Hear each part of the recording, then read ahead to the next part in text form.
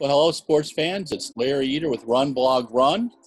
I'm in San Jose, California. You see Stuart Weir to my right, and he's in Oxford, England. Hello, Stuart. How are you? Hi. Well, it's got a bit cold here with us, but uh, otherwise it's all fine. So, define cold. How cold is it? Um, well, because we use centigrade rather than Celsius yeah. rather than Fahrenheit, so it's uh, prob well, it's certainly a good ten to fifteen degrees less than it was last week. Whoa. Okay. Okay. So, yeah. Well, um, sitting out in the garden last week, but uh, wearing a sweater this week. That kind of. Understand. Understand. Yeah, I was. Uh, you were asking me just before we got on. Um, yesterday drove down with my girlfriend from San Jose to Big Sur, which is about 300 miles along two lane highway, enjoying the seals along the way and various sea creatures, and then uh, drove back up. But it was just nice to get out. I think, uh, you know, the U.S. is going back and forth on the coronavirus thing, as you know, and I guess European unions decided that U.S. citizens like Russians aren't going to be allowed into their member countries um, due to COVID. So that that'll be exciting. So any that thought about me coming over and seeing a track meet this fall, I think it's kind of shot to hell if they even have them. Um, let's start from the very top. Um, a American athlete that you know little about, uh, Dick Buerkle, died last week at the age of 72. I believe he had Parkinson's um, for a, about 10 or 12 years. He was a real character. He was uh, an Olympian in 76 and 80 at the 5,000 meters, held the world record indoors at the mile, 354.9, back in 1978. And he did it at a, uh, I believe it was in uh, Maryland, and I remember watching it on uh, ABC because ABC TV at the time would have weekly track meets. They would show us, you know, highlights and stuff. But what was interesting about Buerkle was that he almost didn't make it there. He was lived in Buffalo, New York, and Buffalo has terrible snow. So he missed the flights out of Buffalo, got a last minute flight into DC, arrived at the track nine minutes before his race, warmed up for five minutes, and ran his personal best mile, 354.9 on a, I believe it was a 160 uh, meter track, which is no mean feat because it's all turns. But uh, he um, he beat Steve Prefontaine back in 1975 at an indoor two mile, and his response afterwards was a little off color. They asked him what he thought about, and he said he thought about sex during races. And Track and Field News printed his response. You should, uh, people will just probably have to look it up because I don't want to uh, go any farther than that. But he had a great sense of humor. We did a, a tribute to him, and a uh, whole group of top Americans and some of the Brits said really nice things about him. He, he retired at the Weltklasse in 96 after winning the 5,000 that day. So that's kind of a cool way to go out. Got to meet him a couple times. I liked him. He was a Coke executive for a while. And then his last 20 years of his life, he was a high school teacher, taught Spanish, and coached cross country and track. So, you know, uh, he uh, he was one of those guys from kind of one of our golden eras in American track and field. Uh, had been bald since he was 12 years old, and uh, which kind of guys would rub his head and give him trouble after races and stuff. But he was uh, he was a good guy, and uh, you know we'll keep his family and friends in our prayers. Mm. Um, next one was the one you sent me a little note about Barry Fudge, who had worked with the late Neil Black. And what's your thoughts there, Stuart? Well, um, Barry Fudge was head of endurance at okay. British Athletics since December 2013, and he has now left his position. Right. Um, this is, is more fallout from the Salazar story, Okay. really. Now, we have to, to say that uh, Fudge has not been found guilty of anything. There is no evidence of any wrongdoing. Um, but there were, I think everyone now recognizes an error of judgment in defending the Salazar uh, Yeah. situation. And uh, I mean, I have written on Run Blog Run that I thought that it was harsh to fire Neil Black, who sadly died uh, subsequently. But I- I think that once Neil Black, who was performance director, had gone, it's pretty hard for the head of endurance to remain in his position. And Yeah. so, so he has gone. There was also a television program uh, which showed evidence of Fudge being involved in Mo Farah getting um, L carnitine injections before a London marathon, Okay. and uh, that in fact Fudge had been the person who had gone to Switzerland to get the supplement. Mhm. Now, again, this was um, not illegal, but as somebody put it, it was perhaps not within the spirit of the sport. Okay. And um, when I did the interview with Jo Coates, the CEO at British Athletics, and asked a question about Salazar, she answered it, but then added, but of course I wasn't there at the time. Yeah. In a sense, the fact that Neil Black is no longer there, Barry Fudge is no longer there, arguably makes it easier for Jo Coates as a new CEO to say, look, we have cleaned out the stables and this is a fresh start. Uh, Salazar mistakes were made, but the people who made those mistakes are no longer there. So we've drawn a line under it. Yeah. Because I think as long as Barry Fudge stayed, there were going to be questions asked about what he had done and what he knew and all of that. So I, I- think it's sad for him. I think he was a good man. I think our performance in terms of medals over the last 10 years in endurance events uh, is a credit to him. But probably it was inevitable that he would go, and it certainly helps uh, Jo Coates to have a fresh start. Okay. Okay. Um, is there anybody else from that era still within UK athletics? Not in a senior position. Okay. Uh, uh, uh, well, I mean, you, you, there, there are people like Peter Stanley who deals with jumps and throws. Stephen Maguire, who Mhm. who is the the sprints and relays, but but nobody nobody at a senior level who would have had associations with Okay. Salazar and so on. Okay. Okay. Um, had you ever spoken to Barry Fudge? I didn't know him. I'd, I mean, I'd spoken to him occasionally, but I, I, I'd never had a long one-to-one conversation with him, so I didn't really, really know him. Yeah, they. Uh, I pulled up an article on uh, the Daily Mail Hmm. from during the World Champs in '17 that they had uh, um that Mo and um, Barry Fudge had had a falling out, and uh, I think that's when Paula Radcliffe's husband, Gary uh, Yeah. Came in Mhm. as the coach. Um, I got a note last night that you would find humorous. It was one of the most bizarre press releases that I have seen. USA Track and Field, the governing body in the US, is discussing out loud the possibility of putting on an end of the season meet, like a US Open or a championship.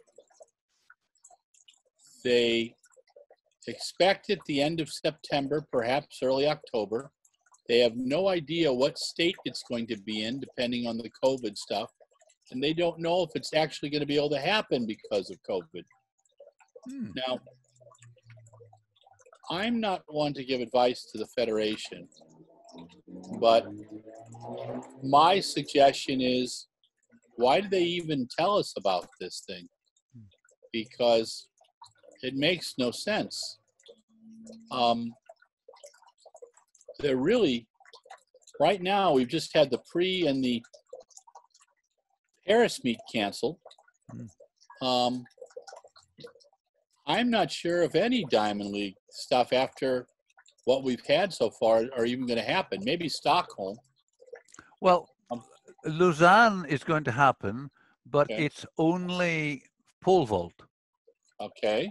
They're doing men's and women's pole vault, and you can understand that the, that's manageable to do Sure. uh, to do uh, one discipline for men and women. You, you, I believe they're having something like 12 athletes in each, so you only have the, the costs of uh, flights for 24 athletes, sure. uh, and you can cover that with sponsorship and television.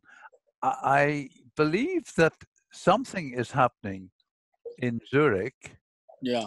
um, and I've heard that at Monaco they're planning to have races with three athletes per race, Wow. so that you can spread them out over the over the eight lanes. Okay. Okay. But I mean, to what to what extent that constitutes being a diamond league, I, I, I don't know. And you know, you Can you go to any of the, Can you go to any of those, Stuart, or not? um, I need to tell you that I am old. Now, I Mhm. didn't know I was old, but No, my government my government has told me that I'm gold. Okay. Um, and I- I'm in the vulnerable category, Okay. and so I probably would not travel to anything this year. Okay, okay, okay. Yeah, it's going to be kind of a, uh, yeah, I'm, I'm not sure I'm going anywhere because I'm a U.S. citizen and um, we're not real popular right now, apparently. It's something to do, there's a guy in the White House, I think, who irritates a few people. well, Um, ac- actually, I mean, uh, if we can get you uh, into uh, England, I'd be delighted to have you. Except, of course, you'd have to quarantine for two weeks as soon as you arrive before Yes. you're allowed to do anything. yes, and then, this is part of the issue for, for me. If I were to travel um, anywhere, uh, it would be against my government's advice. And then when I return, I would have to quarantine for two weeks. wow, So it doesn't really give you a lot of a, a lot of incentive to travel. that's true. And That's, the significance of being against government advice is that you would not be able to get any kind of um, health or travel insurance. that's, yeah, that's kind of special too. That makes, uh, makes us feel even, because because most insurance co- policies have uh, you know if you're traveling against your government's advice then it's invalid Yeah, yeah. that will make it very special. Um, so last week, the New York City Marathon canceled. Yeah. And then within an hour or two, Berlin canceled. Yeah. Um, and you and I have been, we have our weekly London watch. Mm. And we've been wondering out loud about London.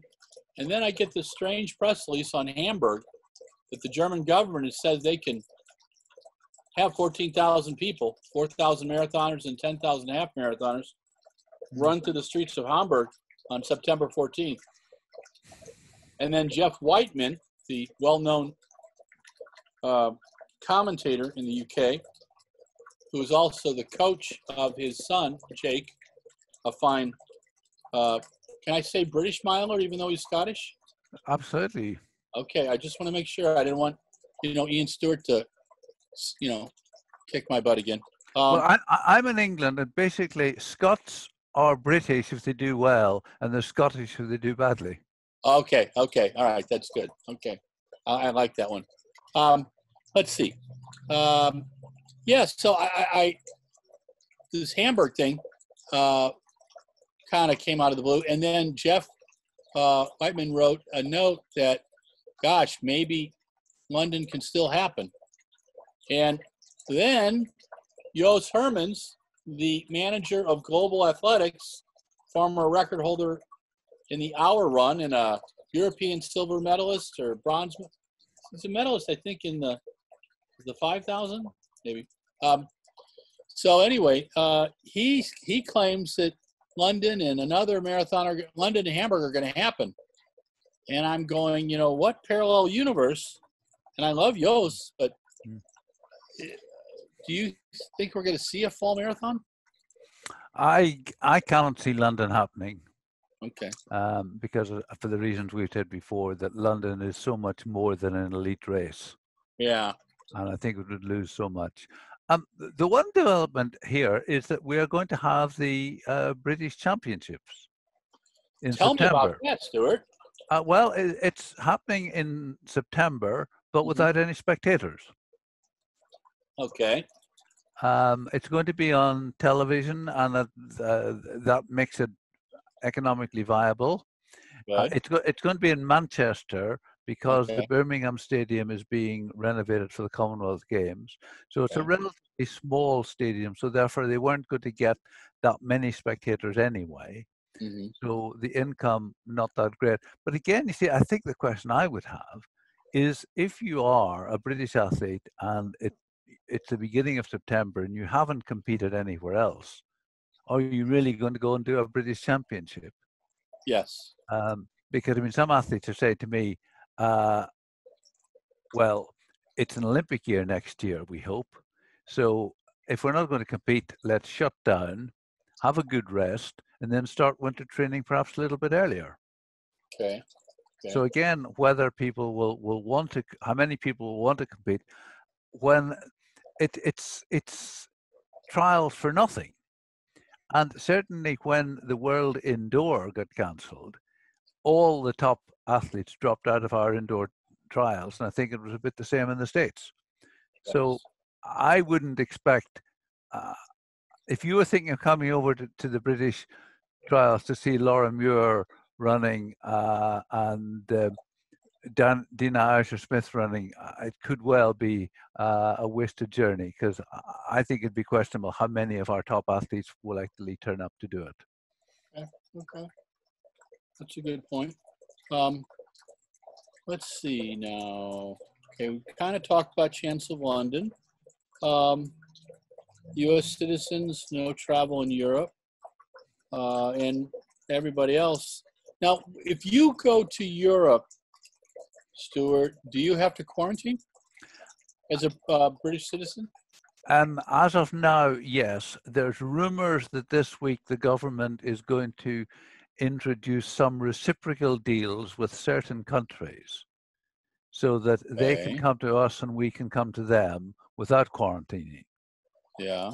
Uh, and the reason for this is that um, we're in danger of losing our entire um, uh, air industry because no one is flying, Yeah. and so much of Europe depends on on tourism. So uh, they're trying to do deals which will encourage people to go on vacation, uh, Yeah. so that the airlines get some passengers mhm. but uh, details have not yet been announced. But it is thought it will involve certain countries in Europe, but not others, depending on the state of COVID in each country by country. Wow. Wow. Yeah, that's going to be pretty interesting. But but Um, again, if you're going to fly, you have to go through a busy airport, Yeah. uh, and even you know even though you're taking precautions, then you get an airplane where unless they are going to restrict greatly the number of passengers, you're going to be sitting quite close to people. Then you Yeah. go through another airport, um, uh, and then you go and sit on a crowded beach with people. So it's if COVID's around, it, it seems to be a, quite a risky business. What is the perception of the whole COVID pandemic in the UK right now? In the US, there's people who think it's a move to shove vaccines down everybody's throats. Some people think it's alien uh, related. Uh, some people think, and I mean people from other planets, um, some people just think it's a, a, a fabrication. Do you have that kind I of don't. I don't think we have any of that. I mean, 42,000 people have died. Yeah. Uh, I think you might get a certain criticism of, of how well the government has managed it. Mhm. Um, there's a view that the government has been too slow at each stage of the process. Uh, but I think we take it pretty seriously. There is there is a real concern that uh, up until now, restaurants are all closed and bars are closed. They're going to open uh, from next week. But okay. a, a there's a real concern as to how many of those will actually open and survive. Uh, yeah. I mentioned the the uh, air, um, the air, all the air companies uh, which yeah. which are in trouble. And I mean, the government in some ways has done brilliantly in with its furlough scheme of of, of helping employers to lay off staff. But mm-hmm. the current debt now is more than our economy is worth. So wow. the government's debt will be paid off over a number of years. And I mean, one of the implications for the, of that is uh, that our government has been very generous in terms of funding sport. But will that amount of money be available in the next few years? And I think there's a real question about that. Yeah, yeah. Do you see interest in track and field going up or down in the UK during the pandemic? Uh, it, it's hard to say really because um, because it hasn't. Most sports have not yet come back. Premier League soccer has been back for two weeks in uh, with no spectators, so the games are or a lot of games on on, TV. Um, I mean, I think that there's a lot I read on social media about park runners being frustrated that they that they cannot do their recreational running. Mm-hmm. Um, I mean, the government has been criticized for uh, saying that obesity is a problem, um, but they're opening McDonald's and the, the bars and not opening the gyms and the swimming pools. Yeah, yeah. No, that's a good point. That's a good point. Um, so Seb Coe got the uh, person of, athletic person of the week award from the website Athletics Illustrated out of uh, New Zealand. It's a it's a fun website. They do a really nice mm-hmm. job, and they gave it to uh, Seb because of his comments about Mr. Coleman. And essentially, what he said was that even the world record holder at 60 and the world champion at 100 meters, Christian Coleman, has to show up for his whereabouts test. And then if he was had been such a person who had missed one or two tests, he'd be sitting at the door on the steps waiting for the testers to show up. I thought that that was wonderful. I thought that that was articulate. I thought that Seb showed enough frustration, but also enough um, of the leadership that look, we have testing for a reason. You've got to do it. What's your thoughts? Yeah, I mean, I think that basically Seb was saying the rules. Uh, uh, Christian, I have some news for you. The rules apply to you as well as to everyone else. Mm-hmm. But um, I think it's really interesting that athletes are very unsympathetic to other athletes. Yeah. Who who, who miss tests. Yeah. And I mean, athletes. Uh, so many athletes have been quoted on social media saying, "Look, um, my obligation as an athlete to make myself available an hour a day to be tested. And th- that's the end of it. You know, that's my part of keeping the, the, the sport clean. Well, Eilidh Doyle, who you and I both know, fine mm-hmm. Scottish athlete. Yes. Um, she related on Twitter last week that she had even put down around the three days she was expecting her baby. Yes. Where she would be. And she, I think she had the baby early mm. and she sent a note off to make sure they knew where she would be that day. Yeah. And uh, is it Dai? Is that how you pronounce his name? Dai Greene, the yes. 400 meter hurdler. He's the European champion. Yes. Um, boy, he got, he was pretty upset. And you know what? I thought he did a nice job of communicating it. It's like, look, you're not supposed to get. So what Christian Coleman said was, well, no one called me, and I was just doing some shopping. I was five minutes away. Mm. So he's trying to lay the blame on everybody else. And the truth was, yeah. He was supposed to be at his this one place for an hour, yeah. or you update what you're doing. Yeah. And it was pretty simple.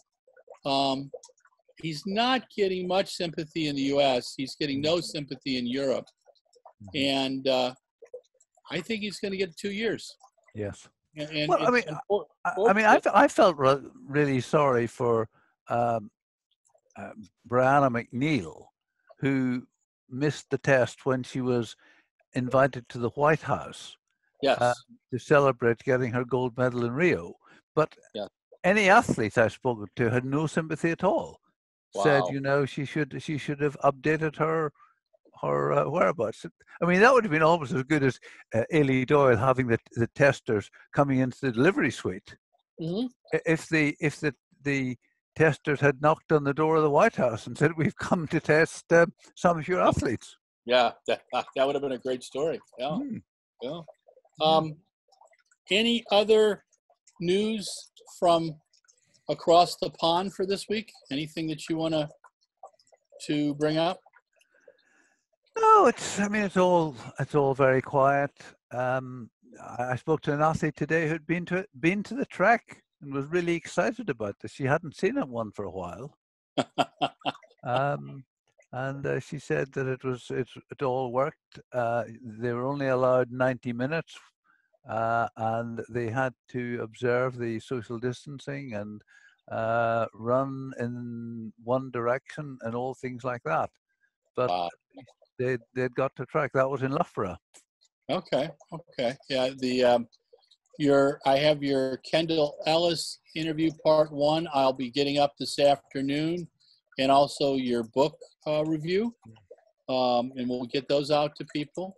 Mm. And thank you for those. You're doing a book review about once a week, and you do several reviews on one book report. And um, you've got about 35 books that you've reviewed. So Yeah. uh, you, you're Just one one other thing you'll be putting up later was um uh, the uh, Dina Asher Smith does a column in the Daily Telegraph from time to time, and and uh, she did this piece uh, which I've summarized for you, uh, in which she sort of posed the question: um, Does racism ever affect me? Only every day. wow.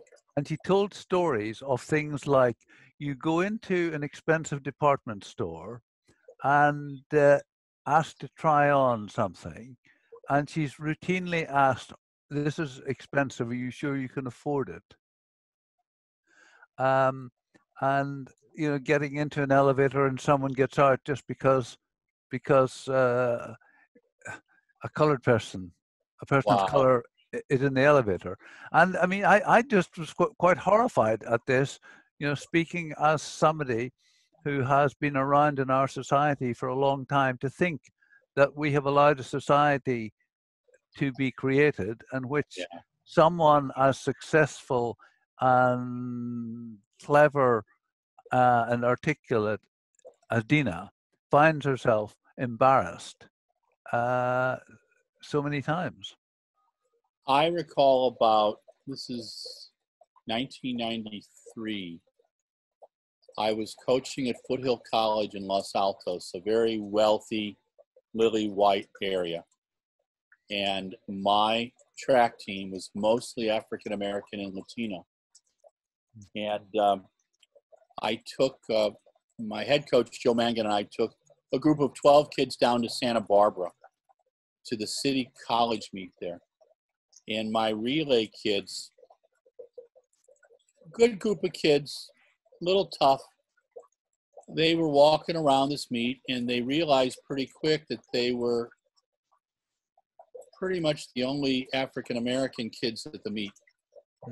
And the next thing they noticed they were a little amused next thing they noticed is security guards were following them around everywhere and they came up to me the security guard came up to me and I asked the security guards what they were doing. They said, "Well, these kids looked a little tough, and we just uh, had a, you know, we had to check them out." And I said, "Well, I think you're following them because they're black," and they denied it. And my kids got really, really upset, and they said, "Coach, they're following us because we're black." And I said, "Yes, they are. And what are you going to do?" And they said, "We're going to win the relay," and they won the relay and I wrote a letter to the president of the college, and he apologized. Um, and I just said I used it, I had to use it as a learning experience, but I was terribly embarrassed. Mm. but um, it's it's true, you know, and it's terribly true in the U.S. Yeah. Um, for But I mean, for- Dina also said that if she got into a store, on occasion security followed her around. Yeah, yeah. It's just it's amazing. See, and, and, you know, I was under this mistaken impression that that didn't exist in the UK. You know, when I um, when I first started spending time in the UK, I would go to Birmingham, and I developed a friendship with Ian Stewart, and so we would go to Indian food, and one of the you know Ian's very proud of Birmingham, and he would tell me he said, you know, everybody speaks the King's English, and people get along great, and they seem to. I love seeing like people from India, people from Kenya, and everything speaking King's English. It just was really kind of a kick for me, and I like Birmingham, and the curry is wonderful. And uh, so I, I thought everybody got along, and I was there in 2011. I was in London 2011 during the riots when all that stuff happened. It just totally blew my mind, and I'm going, God, this is everywhere. You know, Mm. it's not just the United States, um, and it's. Uh, over here, I think we're finally having a reckoning with it. And it's fascinating to me, according to the surveys and things, that so many Americans are supporting the taking down of Confederate statues, the taking down of statues of racist. Um, the support of Black Lives Matter is amazing. Yes. Um, but there's also a lot of vitriol on the Republican side, um, which is unfortunate because the Republican Party wasn't always that way, and and conservative wasn't a bad word over here. You know, I I remember guys like William Buckley and uh, a, a liberal feminist named Germaine Greer on American public television in the 1970s. Three-hour argument, and no one raised their voice, and they they quoted and they they discussed things and it was a learning experience and in the us we can't do that i mean that's why i love watching bbc you guys don't uh, interrupt people most of the time when they have discussions you know Mm. and uh, i wish that would be a little bit more in the us but we're getting down to our last 50 seconds stuart and as always i enjoy this uh, 40 minutes with you each week my friend i miss seeing you at track meets Yes. especially at the press conferences. They're always pretty colorful and delightful in uh, the UK. I just remember uh, our long jumper, uh, Greg Rutherford, Yep. him and um, Valerie uh, Adams. Yes. Uh, they're hyster- they were hysterical. I've got a couple tapes of them, and they were such a hoot. They would have so much fun. Yeah. And even David Rudisha would get in on it. Hmm. He would kind of chuckle a little bit, Mhm. but um, the interviews that British Athletics helped us do were really, really good and fun, Good. and helped Mm. beat up to the meet. So Mm. I hope to be able to do that with you again next year in 2021, Indeed. my friend. Indeed. Let's Yeah. hope so. So until next week, um, a fond farewell, and uh, I will be posting your stories. Good. Enjoy your evening. I hope it gets a little warmer over there. Thank you. All right, Okay. cheers. Thanks, Larry. Take care. Bye. Goodbye, friends of Run Blog Run. This is Larry Eder, and we are with Stuart Weir, and we are solving all the world's problems in athletics. Well, hello, sports fans. It's Larry Eder with Run Blog Run. This is Athletics Chat. I believe it's number um, VII, so number seven. Um, and uh, Stuart and I chatted today, the 29th of June, 2020. Stuart's in Oxford, England, and I'm in San Jose, California. You can hear all the chimes my mother collected over 44 years on our lovely little porch and the little water fountain, the babbling brook in the background. Haven't seen my uh, hummingbirds yet today, but they'll be here soon. And I hope you guys are having a great Monday. I had a lot of fun. Yesterday, I did a socially distanced drive with my girlfriend from San Jose down to Cambria, California, right outside of San Luis Obispo, along Highway 1, which is like up and down and up and down. And pretty cool. There's a couple drivers who probably shouldn't have been on the road. And if I'm president of the United States, I would have had them removed surgically from the highway. But that's a whole different story. Uh, did see some seals and some amazing coastline. And uh, if you ever get a chance to do it, my dream is to. Uh, back in the 70s, I had a Volkswagen bus, 1969 gold VW bus, and I would tool around California with it, pretending that I was a little hippie and doing my training, going to races and stuff, and listening to, you know, Loggins and Messina and Boston and all that jazz. Uh, anyway, uh, it caught on fire about 1980, so I've been in mourning. I did have a funeral for it, just so you know, and um, the issue is that um, I'm going to find a rebuilt one and uh, tool around the the states and go to itty bitty little track meets and national parks and KOA campgrounds and meet America. You know, like uh, what the Tocqueville did. And what do you do that in 1798 or something? Toured America. So I'll do my tour of America. Anyway, uh, I've digressed. That happens sometimes. So today we talked about Dick Buerkle, the uh, 1976 and 1980 Olympic 5,000 meter runner. Uh, he was also the world record holder on January 13th, 1978, ran 354.9 in Towson, Maryland. Just barely made the meet. Uh, a lot of snow in Buffalo. Um, good guy. He also said that uh, when he beat uh, Steve Prefontaine in uh, 1974 over two miles indoors. He was asked what he thought about during races, and he said sex in this race was, was one long orgasm. It was one of my favorite quotes, and I think it's the first time I ever saw orgasm, and the only time I ever saw it in the pages of track and field news. So you have to have to give them kudos uh, for a Catholic boy. That was a big deal. Uh, so Dick Buerkle, R.I.P. You're a good man, and uh, we'll keep you in our thoughts and our prayers with you and your family and your friends. Barry Fudge, who uh, from 2013 was the performance director at UK Athletics, uh, is no longer there. Uh, he's probably after Neil Black, Black was let go. Uh, Barry Fudge uh, was really the only person from that era, and uh, we feel that it was a response to the times that they uh, they protected UK Athletics protected and supported Alberto Salazar, and their Jo Coates, the the new CEO, is really trying to do a clean slate, and she doesn't need to give media any more ammunition. Um, then there's the USATF mystery meet, uh, not mystery meet, M-E-A-T, a mystery track meet. Uh, they're trying to do something, but the truth is they don't know what they can do. What's going to happen with COVID? I mean, right now I think California is on the cusp of being uh, re-locked down again because the numbers are up so high. People aren't wearing masks, you know.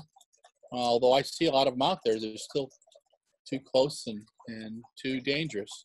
And um, the issue is that um, uh, they won't know for a while yet. So we don't know what state it's going to be in. We hope it's in September. I'm looking forward to a track beat. I just don't know what they can do. I admire them for giving it a shot. I just want everybody to be careful. The pre and the Paris Diamond Leagues were canceled. Prefontaine, I think I've missed twice since 1990. Uh, Paris, I've been going to for a few years. Love that meet. And the Stade Charléty. Also liked it in the stadium uh, in Saint Denis. But uh, alas, it's not going to happen this year. Uh, French Federation's doing pretty well, about 895 thousand euros in their coffers, so they're doing. They got a pretty good amount of cash there. Um, U.S. citizens, no travel in Europe. So even if I wanted to go to Europe, uh, to um, even if I wanted to go to Europe, I could not go because U.S. citizens aren't allowed to travel after midnight tonight. So thank you, President Trump. Thank you, Trump administration.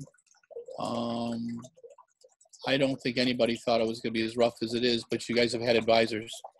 And uh, doesn't matter whether I vote for the person or not, government's supposed to take care of people. and there's some issues there.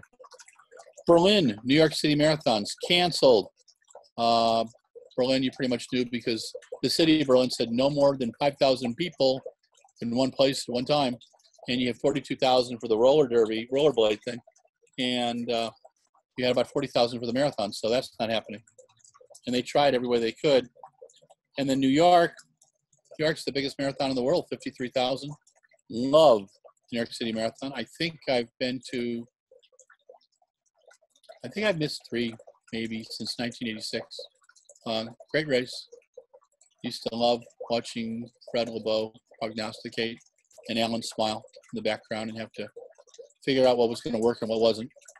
Fred would just kind of like throw things out there and and uh, Alan would catch him and decide, yeah, I think maybe we could do this one. Or good try, Fred. You know, but uh, it was a glorious time. It was a golden time uh, in sport, and uh, the marathons were fun. Getting to run that race in 1986 was really a trip. I think the bridge really does shake. You know, it felt like it. Anyway, um, we're going to miss those events. Uh, Hamburg is still on. I, I, don't understand it at all, but maybe it'll happen, uh, which means that could London happen? Who knows? Jos Hermens, uh, the manager of uh, Global uh, Sports Communications over in Holland. Um, he has a tremendous number of fantastic athletes. Eliud Kipchoge and uh, Kenenisa Bekele, the two top two big guys right now. Um, he thinks that those races are going to happen, and he's an optimist. And I, you know, I enjoy Jos, and we need people like Jos. Uh, he's a character, but I don't know if it will be. I beg to differ right now. So, and then Seb Coe. Seb Coe, tip of the hat to Seb Coe for standing up for his sport once again. This is what happened this time. Christian Coleman, World Indoor Champion in 2018, World Outdoor Champion in 2019. Almost missed 2019 for whereabouts test. Well, he's going to be watching some track meets from TV, it looks like, for a while because he's missed too many tests. And the most recent one, instead of sitting on his doorstep waiting patiently and lovingly for the drug testers, he went shopping for an hour. Why that hour? Why not wait? And what I want to know is why his management didn't take control of it and say, Christian, you're going to lose a half million, seven hundred thousand bucks, whatever you're being paid by sponsors, because you got to run to get paid. It's just silliness. Anyway, whereabouts tests shouldn't be missed. People screw up once, twice, but three times and four times. Come on. Ms. El Nassar's got the same thing going. Um, anyway, it's just disappointing. And Seb said, look, there's no room for a deal, and you better be there. Good job, Seb. Don't get to tell you that all the time, but uh, tip of the hat. And our friends at Athletics Illustrated made you Person of the Week. So we'll make you a Global Person of the Week. You're a Run Blog Run Person of the Week, too. Good job, Seb. Keep it up. Defend the sport. If that's what your job is. And, you know, look for ways for people to compete. I really did enjoy the Impossible Games. I thought it was a great shot. And uh, I think Maurie Plant would have been happy and Svein Arne as well. Uh, we've got a lot of good people in the sport. And I, I really believe that within the sport are the answers to our challenges right now. COVID 19 is going to be around for a while. I think we're going to be dealing with it till 2023. Yeah, just take a deep breath, and you're going to have times you have to wear a mask. You better wash your hands and better be careful. Talk to you soon.